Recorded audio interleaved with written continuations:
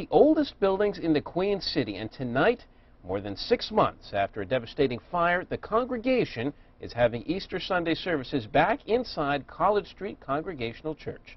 WPTZ's David Charns joins us live in the newsroom with that story new tonight. David?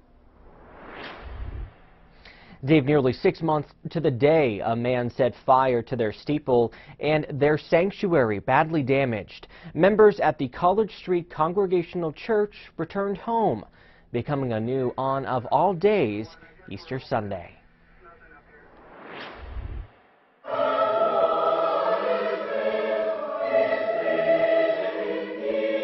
On Easter, when Christians celebrate Jesus Christ's resurrection, the College Street Congregational Church proclaims its rebirth.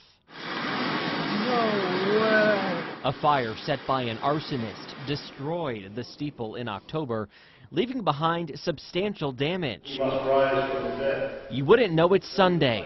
The gleaming new sanctuary filled with smiles and tears. I love this building, and it's been um, it's been emotional for me this morning. It's been great.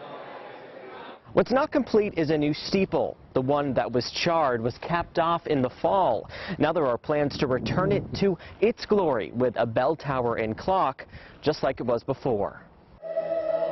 Signs of spring planted around the building, near items conjuring up that October night. Members taking a moment to pray for the man who caused the destruction. Our prayer for him has been that he have healing, that the light of God fill his heart, and that peace fill his life.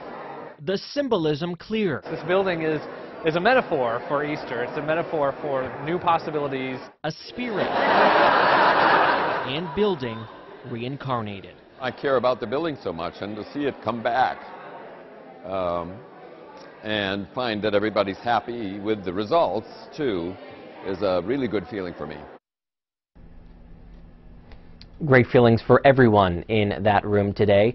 Members hope to do the same thing again next Easter Sunday, hopefully with a new steeple this time around. Live in the newsroom, I'm David Charns, WPTZ News Channel 5.